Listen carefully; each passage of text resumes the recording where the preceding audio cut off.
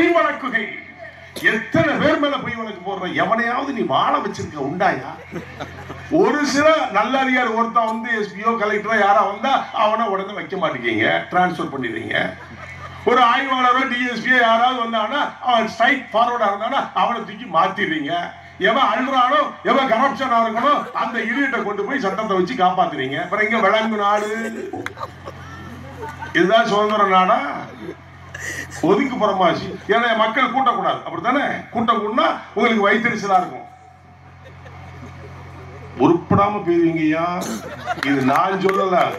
ஆண்டவன் முருகன் சொல்றான். சபிக்கிறான் உங்களை. நான் சொல்றேன்.